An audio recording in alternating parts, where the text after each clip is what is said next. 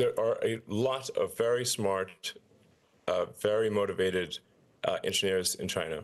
Um, so you should expect that China will come up with many great things, uh, and they have come up with many great things.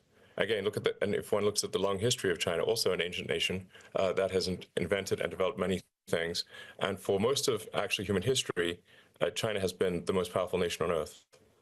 Um, so, you know, uh, I think particularly from say the position of people in China, they they simply view China's ascendancy as um, resuming the the normal sort of place in history, which is the most powerful country on earth.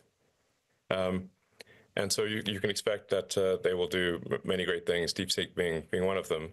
Um, but that that is simply um, a result of, of the immense amount of talent um, in, in, China.